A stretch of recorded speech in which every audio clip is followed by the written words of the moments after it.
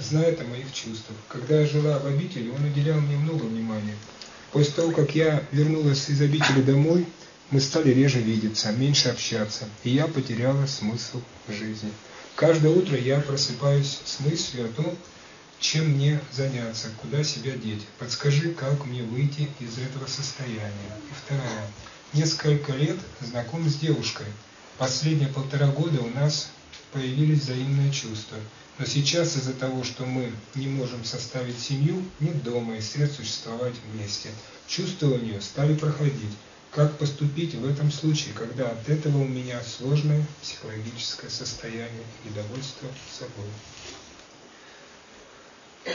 Вот это все, что сейчас названо, и призвано быть преодоленным в условиях того, когда вы Божье будете учиться ставить выше земного, природного. Потому что на самом деле ваша жизнь зависит, конечно же, от природы тоже, но прежде от Божьего. То есть вы не животное, где прежде зависит все от природных инстинктов и программ, которые заложила природа. А так как телу вашему присущи, конечно же, программы той же самой природы, но самая главная зависимость в вашем развитии, она прежде находится в области Божьих истин. Научиться Божье ставить выше очень важно, очень важно. Иначе перекос восприятия жизни и, соответственно, перекос в становлении природной семьи вашей дальше, гармоничной, в развитии любви, он будет очень большой, этот перекос. Накладок возникнет очень много. Если вы Божье, вернее, любовь свою поставите выше Божьего, то есть некий культ возникнет. То есть, когда свою природную любовь вы видите прежде всего как единственная, самая важная цель вашей жизни. Это будет означать одно, одно что вы природную любовь, вы возводите в ранг какого-то культового э, таинства. То есть оно как в виде Бога у вас существует в жизни, как самое-самое большое. Если так, вы заблокируете свою жизнь. То есть у вас будет разрушаться все в отношении этой любви. Вам никак она не будет даваться, эта любовь. Вы только будете ее находить, влюбляться, у вас будет уходить, что-то случаться с тем, кого вы любите. Он будет либо умирать, либо что-то случаться, но будет вас, вас будут сильно бить в этой области. Сама жизнь будет рвать вас с этой стороны, чтобы вы не, не делали это культом для своей себя. Чтобы вы сумели даже в этих условиях Божье поставить выше. И это именно и происходит. Ведь сколько мы не смотрим вокруг, любовь нормально реализоваться никак не может у большинства из ваших собратьев, ваших родителей. Вы видите, сколько вокруг вас людей, а вы спросите, насколько они счастливы в любви. Вам редко будет удастся наверное, найти такие единицы, которые долго сохраняют свою способность реализовывать какие-то качества любовные, хорошие. Это очень непросто. А это все связано с тем, что свой чувственный мир человек ставит выше божественных истин. И он уже начинает блокировать. И чем сильнее он возводит в культовый ранг любовь природную, тем сильнее и мощнее будет удар в эту область нанесен. И это становится очень больно. Настолько больно, что мутится человеческое сознание, он может даже просто попасть в психиатрическую больницу. То есть становится алкоголиком, чтобы как-то задавить это все, становится наркоманом, чтобы как-то сбить эту боль.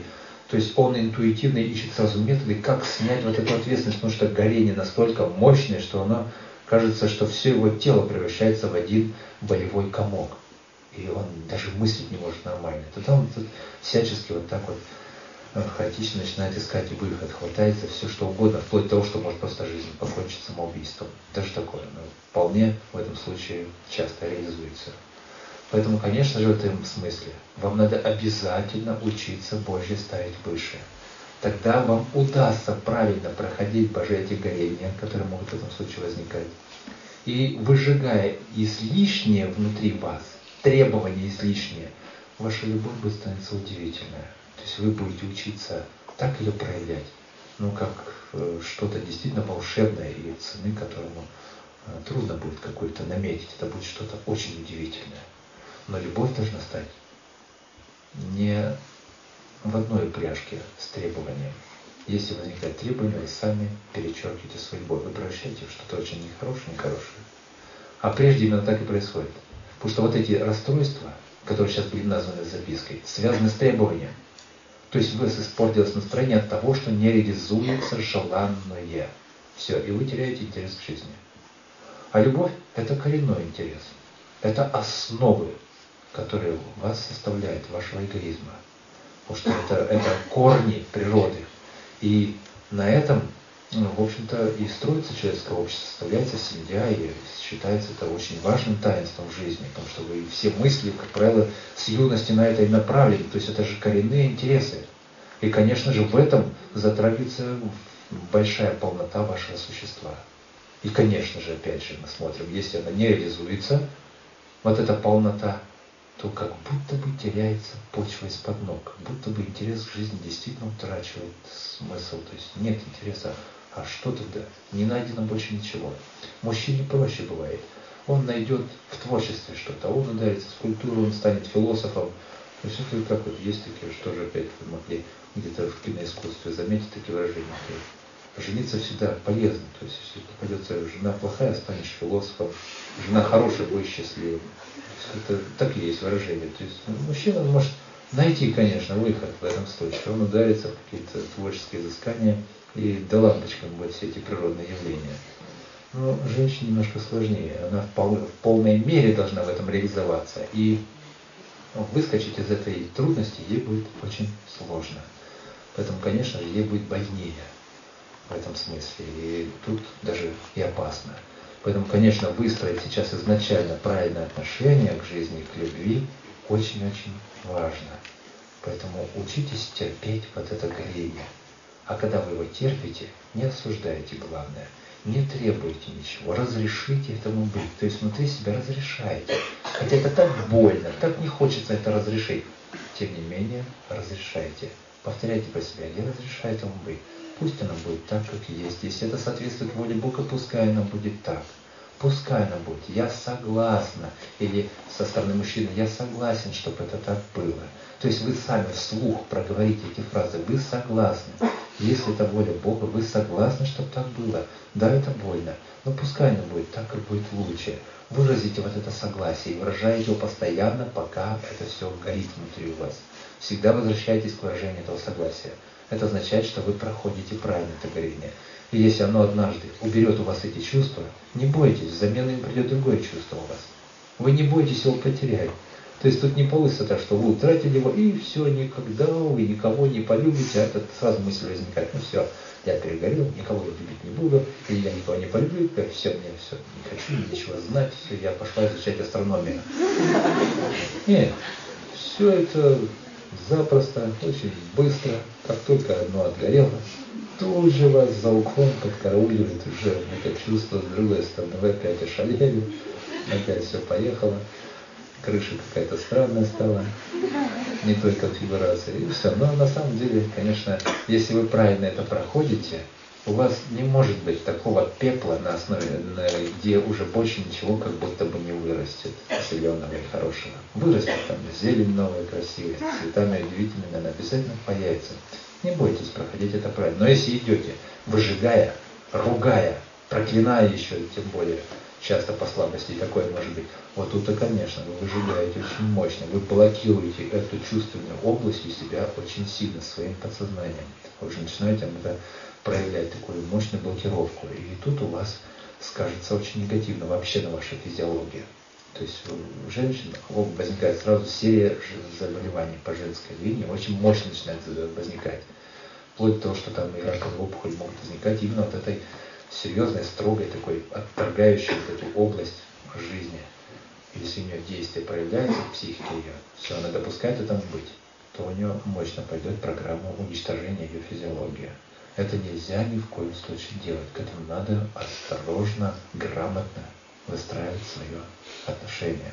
Поэтому учитесь это правильно принимать. Не дается, не впивайтесь, как я уже до этого сказал, когтями. Держитесь нормально.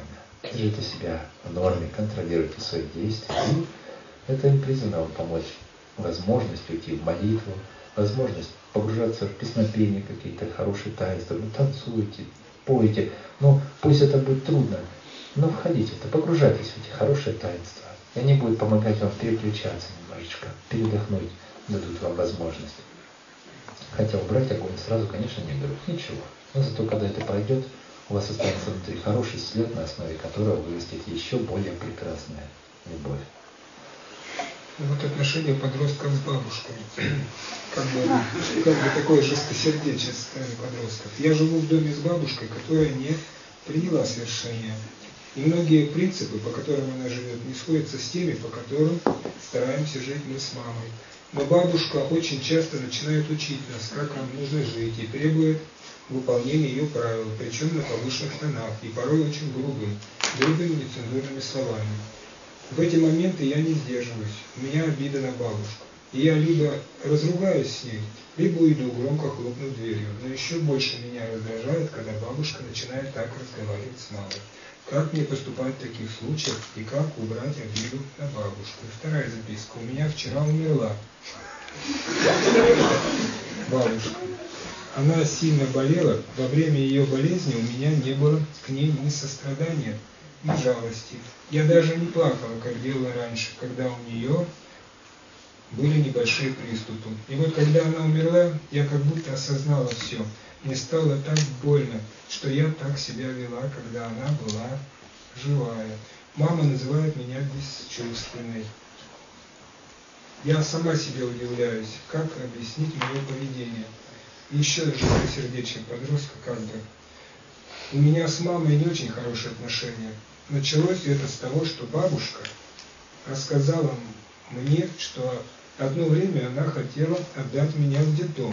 Она не сидела со мной, когда я был маленький. Сейчас я понимаю, что это было уже давно, и мама сейчас изменяется, но у меня внутри сидит противоречие. Например, мама меня просит вынести ведро, я не могу его вынести, что-то внутри не удается, и я не знаю, как с этим бороться.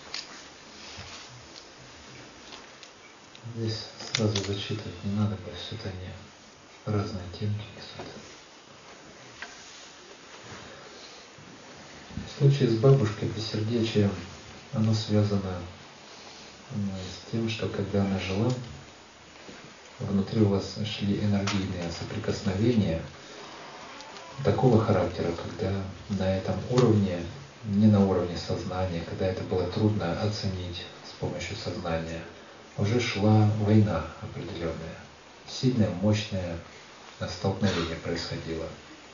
Неприятие того, что было связано с бабушкой. Потому что пока она жива, эта программа ее действует, она атакует вас, и у вас внутри идет программа отторжения. Но это не всегда вам удается правильно оценить, конечно же, потому что это находится на более глубинном уровне, который пока еще вами достаточно правильно не фиксируется. И естественно, когда она покинула жизнь, ее активное воздействие энергийное, оно прекратилось. Все, и у вас снимать стали те блоки, которые в момент ее жизни они происходили. И пошла реакция сознания того, что на самом деле вам присуще.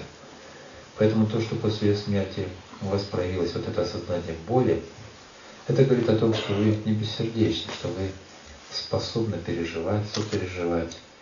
Это нормально тогда состояние. Просто вы были не в состоянии до этого времени правильно реагировать на то, что происходило а, со стороны бабушки в вашу сторону. Тут сразу говорить о какой-то черствости, нечерствости, правильности, неправильности сразу будет неверно. Ведь мы уже оговорили в этом случае, когда мы говорили о жалости, о желании пожалеть, пойти навстречу чему-то со стороны ближнего проявляющейся, оно же ведь связано и где-то с уместными с его стороны требованиями и с неуместными требованиями. Когда эти требования настолько неуместны, когда у вас внутри просто отторжение, нежелание так сделать. Но и здесь не только бывают неуместные с ее стороны требования бабушки или кого-то другого, но и ваше желание э, не делать так, как, как будто от вас требует. Это тоже и ваша собственная слабость тоже здесь может играть свою роль, и ваши собственные капризы не позволяют часто пойти навстречу ближнему, хотя это следовало бы сделать. То есть тут обоюдно, конечно же, все проявляется, и каждый отдельный случай, его следовало бы оговаривать отдельно, употребляя еще дополнительные э, нюансы, какие-то оттенки, которые могут быть присущи только вашей, вашей ситуации, чтобы здесь не выводить какие-то обобщенные подсказки. Потому что каждая отдельная ситуация в деталях она может нести какой-то свой характерный ответ, который в другом случае, при такой же, как будто бы аналогичной ситуации, дать уже нельзя. Там потребуются другие уже ответы, с другими оттенками. Но вот прежде всего вот этот характер черстости и нечерстости, он, конечно, связан от того, что идет от ближнего к вам.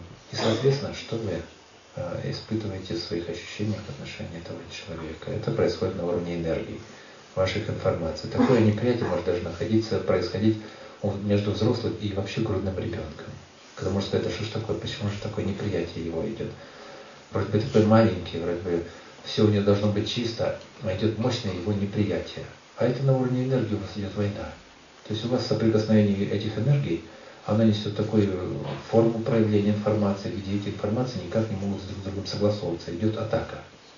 И все, вы ощущаете неприятие. Вот эта атака происходит. И нужно время, чтобы постепенно вы, учась правильно реагировать на многое, не только связано с этим ребенком, со всеми окружающими, потому что эти задачи каждый день вам кто-то приносит. Вы правильно решаете задачи, выстраиваете чувственный мир так, что эти ненормальные ваши реакции постепенно уходят. И вы все проще и проще воспринимаете чью-то атаку.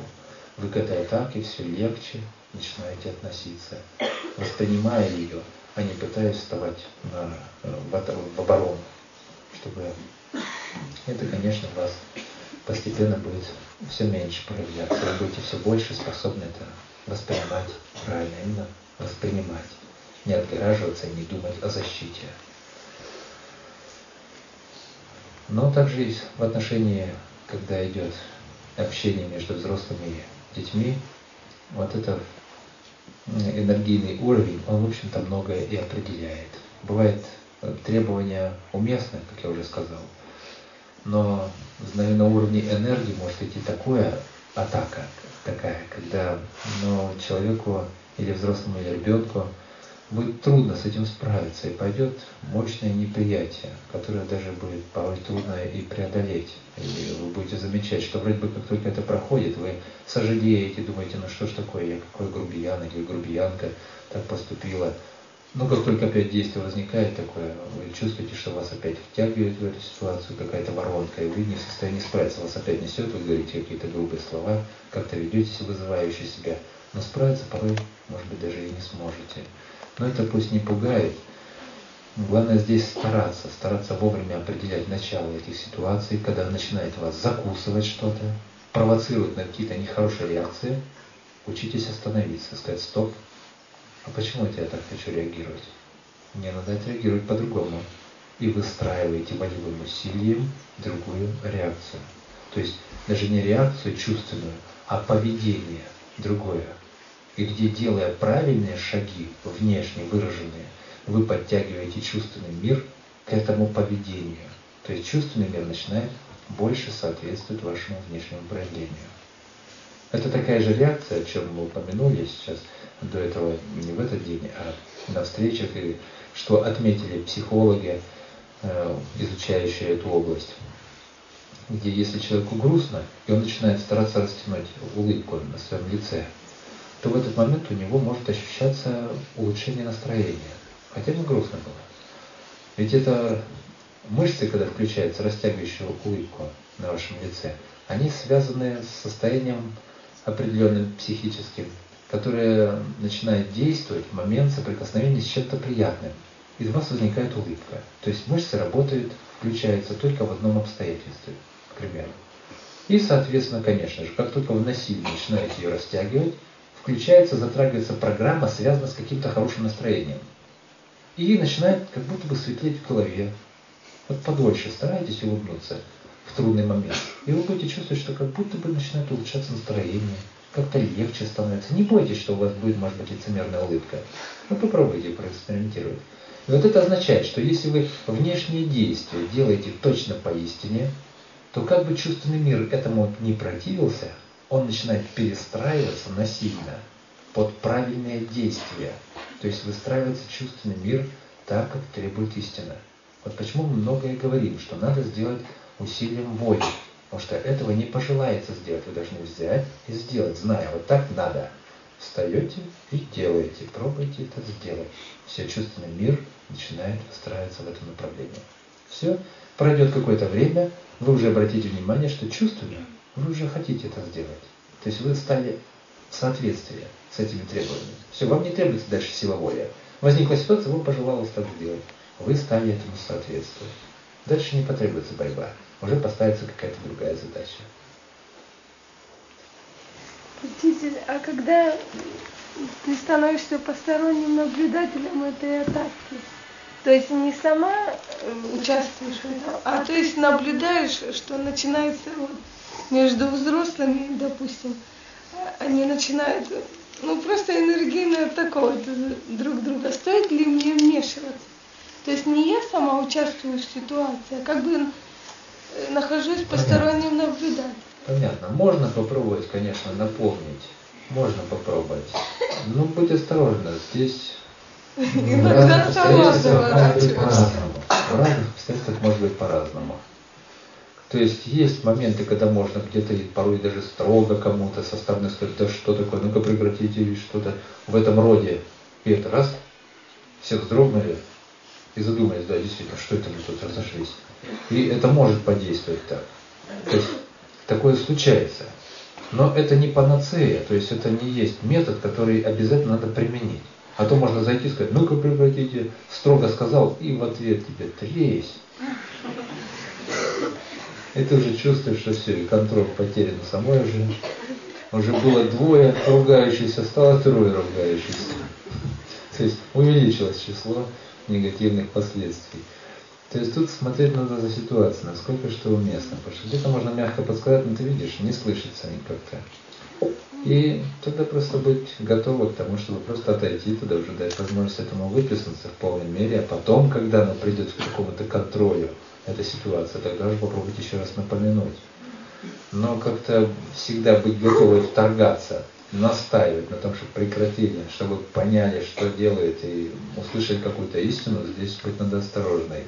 Однозначный ответ здесь нельзя дать, всегда вмешиваться активно. То есть тут уже присмотри. Либо просто отойти в сторону, помолиться и просто послать свое доброе что-то, представить какие-то образы хорошие, улыбки на их лицах в стороне. Это тоже действенно, оно тоже может действовать и тоже уместно. Поэтому тут уже от творчества твоего зависит, от умения оценить сложность ситуации. Но уместно вот такие тут названные моменты, в разных случаях это по-разному может быть. Господин, а вот если у меня, я боюсь потерять, не, не потерять, а потерять ниточку, чувства к человеку, потому что и из-за этого закрываю ко всем другим ребятам, я, потому что мне кажется, что если я потеряю, ну, какая-то какая-то и я не смогу этому человеку помочь, когда я вижу, что ему плохо, что я этого не увижу, что я не почувствую. Поточнее еще раз прорисуем, поточнее. Не обобщай, побольше. Точнее, я, детали. Закрыв... Я боюсь ну, в кого-то влюбиться или что-то, потому что мне кажется, что я тот человек, который мне дорог, ну как бы это мужчина, он, я вижу, я часто вижу, что ему тяжело, и я постоянно думаю о нем, посылаю ему теплые чувства.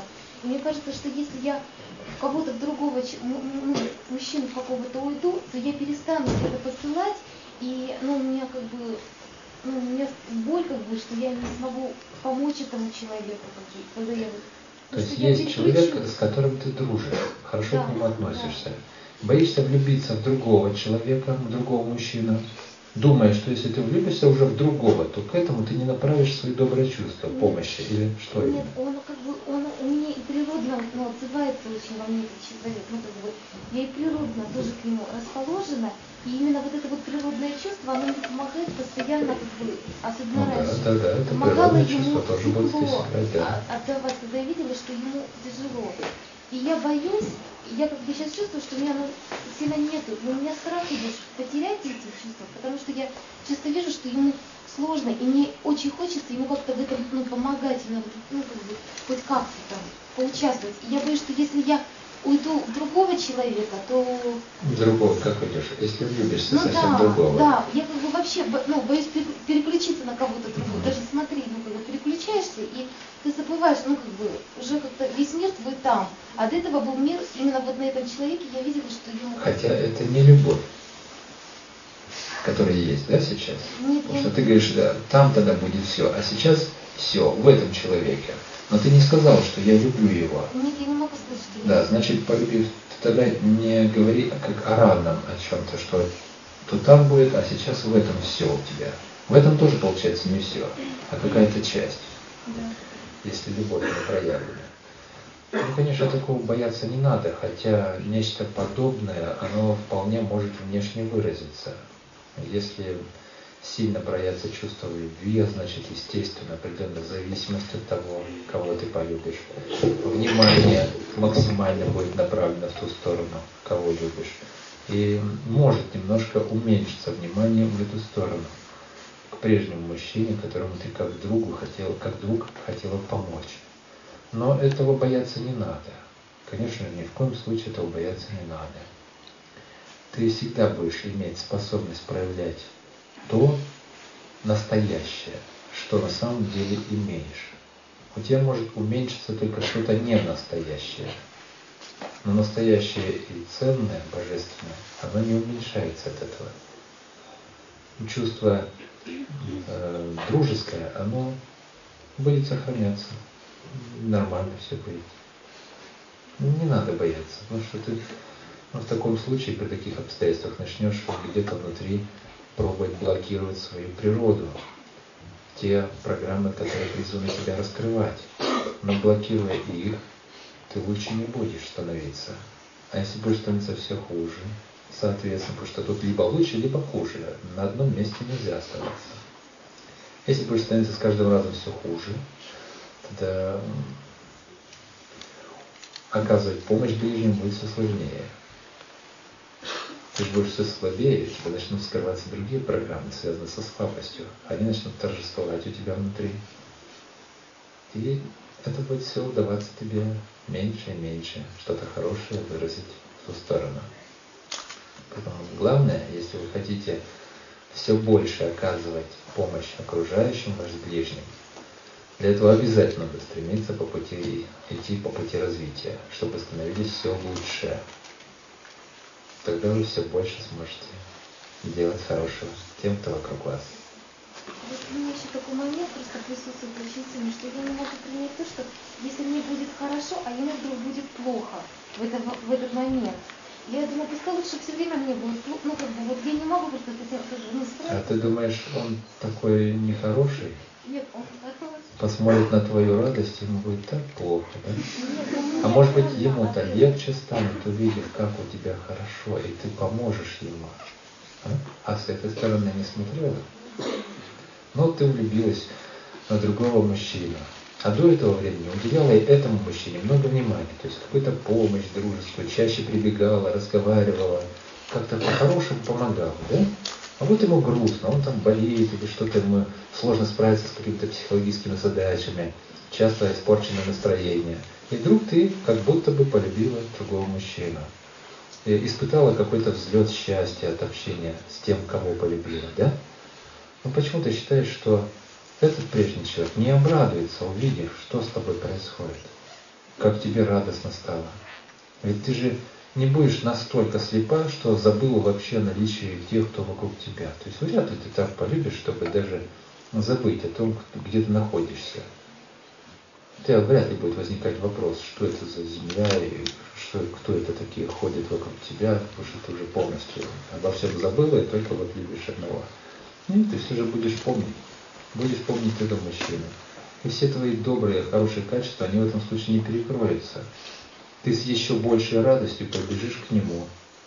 Так же забежишь, скажешь, ты знаешь, мне так здорово, так-то, так-то. Ты расскажешь о какой-то своей радости. То есть ты торжество своего сердца выплеснешь в общении с ним. Но так он же это тоже почувствует. И если ты для него не вещь, которой он хотел бы пользоваться, он порадуется. Но если он не обрадуется, тогда ты для него вещь. Вообще этим вы можете легко друг друга проверить. Очень легко. Вот когда вы так дружите, и тот, с кем вы дружите, внезапно, обрадовавшись, что-то еще нашел, но это вам не принадлежит, а ему начинает как будто принадлежать. и он от этого радуется, то посмотрите, как вы к этому относитесь. Можете ли разделить радость с этим человеком? Ведь чаще думает, что друг это тот, кто делит прежде горе. Нет. Рабы тоже делят друг с другом горе, находясь в одной упряжке. Но это не означает, что они друзья. А вот суметь разделить радость друг с другом, вот это здорово. Тут много из чего вскрывается. И вот особенно в чувствах любви, которое у вас проявляется, здесь очень много такого проявляется качества, э, которое можно охарактеризовать как э, либо вы относитесь, воспринимаете ближнего как друг и видите в нем потенциального друга для, э, рядом с собой, либо вы воспринимаете его как собственник, пытаясь увидеть в нем нечто, что должно вам принадлежать. Если оно уходит от вас, вам грустно, вам очень тяжело становится. То, что уходит, может быть грустным. Тут где-то даже допустить можно какую-то грустинку, потому что всегда хочется иметь то, что приятно. И говорить о том, что если приятное уходит, не должно ощущаться грустинки, так будет неверно. Это будет что-то неуместное, потому что так это неправильно. Закономерность есть простая. Если вам приятно, вам хочется это иметь. Поэтому некоторая такая легкая доля привязанности, она вполне допустима. И если приятное как-то уходит, немножко грустновато. Оно вполне может быть.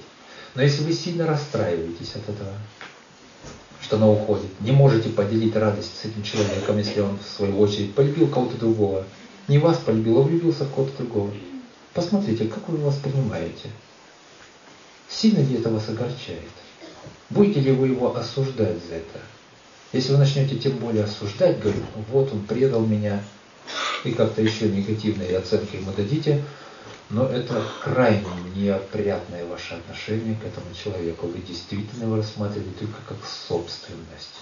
Он не был для вас человеком, у которого есть божественное, он просто был как будто бы вашей собственностью. И вы считали, что вы имеете право его иметь рядом, и он не имеет права никуда уходить по вашему, без вашего желания.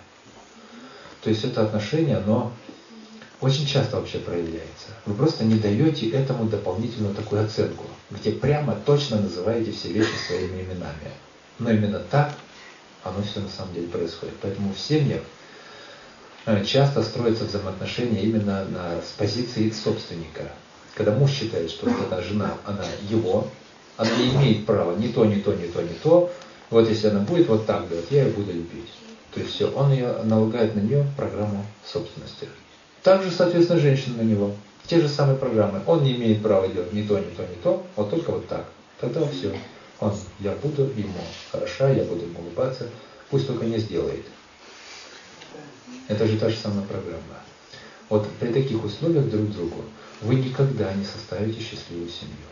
Это невозможно. Вы начнете активно гасить прекрасные свои качества, которые должны будут проявиться в этом смысле.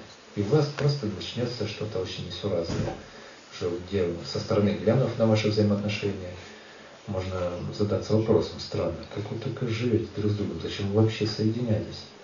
Но ведь в основе-то как будто бы лежала любовь. Если эгоизм неправильно проявляется, он обязательно проявляется, конечно же, вместе с любовью, очень ярко скрывается. И если он ненормален, его формы ненормальные, то вот это отношение к ближнему как к собственности вы мощно начинаете ощущать. Очень мощно. И если вы обижаетесь на то, что он уходит и делает не так, как вы бы хотели, тот, кого вы любите, все, у вас это прямой показатель, что вы его воспринимаете как вещь. Вы не разрешаете ему быть самим собой. И получается, когда, еще раз вот такое тоже можно прибавить чуть-чуть момент, он тоже очень присущ, больше к женской стороне, когда есть определенная мечта, каким должен быть мужчина рядом. Ну, соответственно, мужчина тоже где-то там бывает осуждает, какой бы он хотел бы видеть женщину, но это не так ярко. Больше женщина мечтает, как бы она хотела составить семью, какого бы она хотела мужа рядом иметь, то есть с каким бы мужчиной, какого э, характера, что-то она часто бывает представляет.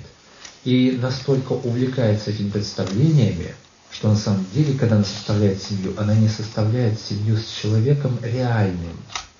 она составляет семью с образом своим об этом человеке. То есть она находит в какой-то момент как будто бы соответствие в его поведении с каким-то придуманным ранее образом. Быстро включается программа, все, мой, все, это то, что я хотела.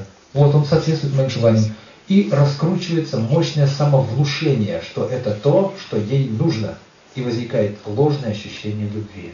Она быстро эту программу вводит в активное развитие. Возникает чувство любви. И цепка начинает удержать все, это все моя мечта, вот она, вот она, вот она, вот она. Как только составляется семья, начинает замечаться ситуация другого рода. Оказывается, вот тут он ведет себя не так, как хотелось ей. Она думала, что он такой, а, он, а у него другое еще открылось. Ой, а там еще и это, он совсем не так, как мне представлялось. И потом уже сразу возникает чувство, а действительно ли я люблю его? Как-то странно, что-то я, может, уже и не люблю его. И все. И поехала уже в обратную сторону, все откатывается. Но семья бывает уже создана, уже бывает рождаются дети, и вот эти требования, которые начинают возникать впоследствии так бурно, они создают большую же трагедию, просто трагедию, потому что не воспринимается ближний как человек, которому вы разрешаете быть человеком, таким, какой он есть. Вы с него требуете быть таким, каким вы его придумали. А он этому не соответствует. И не должен этому соответствовать. Более того, все придуманное, что способен создать человек, это очень примитивные образы. Ведь вы не знаете, что такое положительное качество. Вы их слышите от одного человека, от другого, что такое положительное. С чем-то положительным встретились в третьем человеке. У вас какой-то комплекс возникает с ваших понятий о чем-то хорошем. Просто какой-то дополнительный комплекс, вами придуманный, он истине не соответствует. И вам кажется, как будто бы вы справедливо требуете от ближнего соответствовать этому образу. Но это глупости. Вы придумали глупость. Он не должен быть таким. Он в реальности гораздо лучше, чем ваш образ. Но вы уже не можете увидеть красоту этой реальности. Вы, вы сопоставляете с образом, и если он не сопоставляется с образом, как вам бы хотелось, вам кажется, что это хуже. Да нет, в реальности это гораздо лучше. Гораздо правильнее проявляется, гармоничнее, чем то, что вы придумали. Ведь вы часто придумаете то, что для вас вообще опасно. Ведь вы часто желаете то, что может быть даже и уместно, но для вас ни в коем случае на данный момент это неуместно. Ибо если есть чрезмерные требования внутри, то даже если вы пожелаете, чтобы был мужчина рядом добрый, для женщины, можно сказать, уместное, хорошее пожелание, но почему бы не думать, чтобы добрый рядом был? Разве можно пожелать, чтобы он был злым рядом? Нет. Уместное пожелание, чтобы он был добрым. Но вы, имея неправильное отношение к этому состоянию человека, вам его просто нельзя дать. Вы сами себя убьете, если появитесь рядом с добрым человеком. Он не будет вас, вам хамить, он не будет вам грубить. Но у вас включатся программы, вы его прогоните. Вы измучитесь рядом с ним, вы будете постоянно подозревать в нем злобу какую-то, какое-то коварство, потому что вы недостойны еще пока доброго человека. Вы сами коварные, вы сами хитрые, вы сами злобные. И поэтому вы это все подозреваете в нем обязательно и вы замучите сами себя в этой ситуации. Поэтому бывает рядом хороший человек появляется, но вы, не оценив эту ситуацию, прогоните либо его, либо убежите сами, доказав самим себе, что рядом с вами не был добрый человек. И это сплошь и рядом возникает. Это обычная ситуация, обычная происходит в жизни, в семье. Поэтому семьи рушатся очень быстро именно на вот этих вот домысливаниях, мощно проявляющихся домысливаниях. Поэтому надо учиться быть достойными. И тогда вам всегда придет то, рядом станет то, чему вы действительно соответствуете. Что вы в какой-то мере, можно даже такой термин упомянуть, заслужили действительно. А так, даже из многого хорошего, что вы действительно сейчас уже можете представить, уместно. Потому что ну, достаточно опыта человека, чтобы многое приятное, правильное достаточно увидеть, верно. Но чтобы оно рядом с вами появилось, вы не всегда этого действительно достойны. И поэтому рядом появляется тот, кто вроде бы имеет тоже хорошее качество, но он должен что-то вам еще и другое принести, через что вы должны будете научиться чему-то большему, подняться выше, но дальше тогда что-то и лучше будет. Ведь кто-то может проявить программу э, такую неприятную для вас, исключительно в связи с тем, как вы к этому относитесь. И как только вы поменяете свое правильное к этому отношение, эта программа уйдет у этого человека. Он не будет больше себя так вести. Но он будет вести только пока вы будете что-то неуместно требовать. Эта тема одна из тоже немаловажных. Ее сейчас вам очень важно правильно понять, иначе вы все бурно, составляя семью, попадете в эти условия, и у вас эта программа вся пойдет. Вам останется только потом улыбаться, сказать, ну надо же, однажды мы слушали, но там что-то недооценили и влетели в это на полном скаку. Потому что на самом деле именно так все и будет. Вот это мне вот сейчас приходится каждый день разбирать. Каждый день с вашими папами, мамами, родными, близкими, кто уже составил семью, все те же самые программы. У вас они те же самые есть. Родители вам их передали уже. То есть они в свое время начнут скрываться. Поэтому заранее учитесь правильно воспринимать реальность, воспитывайте себя, воспитывайте силу воли, учитесь брать над собой контроль. Вы же должны стать хозяевами над самим собой, а потом, иначе, что ж такое, хорошо, приятно видеть мужчину, который попадает под чувство любви и ревности, соответственно, потом стучится головой в забор и говорит, что я не могу. А это реально это из жизни, вот сейчас верующий вот, стукается, и все, он чувствует, но не, не может справиться с собой. Настолько мутит сознание это чувство, который попадает, и ревность его просто сметает, если силы воли у него и силы духа не хватает. А нехватка пока еще очень большая. Поэтому под ревность вы можете попасть очень мощно. Так что это даже потом трудно в вашем лице увидеть что-то человеческое. Смотришь на свое и удастся ли вам помочь. Но тут уже будет, конечно, все зависит от того, как вы сами пожелаете себя поменять и победить себя. Потому что если вы не обратитесь к истине, не попробуйте опереться на истину, это, конечно, тут остается оставлять вас один на один со своей слабостью, где вы бушуете, кипите, горите. Ну, но в то же время дозреваете для того, чтобы однажды уже спросить, а как правильно поступить. Вот эту область учитесь формировать. Воспринимайте друг друга в реальности такими, какими вы есть на самом деле. Учитесь быть помощниками друг другу. Не требуйте друг от друга быть такими, какими вы считаете, чтобы был ближний. Не надо. Пусть он будет таким, какой он есть. Любите его таким, какой он есть. И тогда вас точно так же будут воспринимать такими, какие вы есть. Начнете с них требовать, с вас начнется аналогичное требование. Почему это будет так делать, а почему не так? То есть вся программа та же самая против вас включится обязательно. Не хотите, чтобы с вас требовали, ну так и не требуйте сами прежде. И все будет замечательно тогда. Давайте сейчас мы остановимся, потому что тяжело на себе говорить так. Полу все-таки прохладный пол. Чтобы мы тоже сейчас не перегружались разными темами. Конечно, я вижу, нас тем там очень много затронуто. И в один раз уже тронуть это сложно. Это значит нам наш целый день. Видите, уже почти три часа сидим, два с половиной часа а тронули только маленькую часть. Более того, вся сложность еще и в том, что вы затрагиваете темы, на которые нельзя ответить, да, так неправильно, вот это так будет правильно, да или нет. То есть это нельзя ответить. Мы раскрываем тему очень серьезную, где, конечно же, надо в это погружаться достаточно многогранно. Поэтому ничего, если сейчас мы что-то не успели. Тем более, ведь я многое повторял из того, что уже было сказано, и оно запечатлено в Писании. Поэтому, читая вы все это, точно так же будете поднимать в своих воспоминаниях, если было прочитано. Если не было прочитано, прочитайте еще лучше уясните. Ну, дальше желаю вам счастья. Не бойтесь спрашивать, конечно же, вопросы, которые сейчас пока вам становятся для вас острыми. Потому что некоторые вопросы вам очень важно спрашивать, задавать и даже пробовать вместе. Но все-таки есть еще вариант. Задавайте вопросы, присылайте письма. И если там у вас острые вопросы, я, конечно, обязательно буду вас призывать. То есть, если не на общую встречу, то индивидуальная встреча, конечно же, может быть. Где вам у вас есть возможность смело, просто очень спросить на любую тему. Просто так смело, не боясь, не стесняясь. Потому что вообще вопросы жизни, ваших взаимоотношений друг с другом – это серьезнейшая тема, и их важно тронуть очень правильно, грамотно.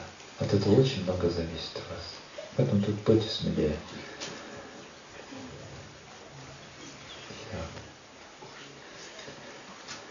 Счастья, радости.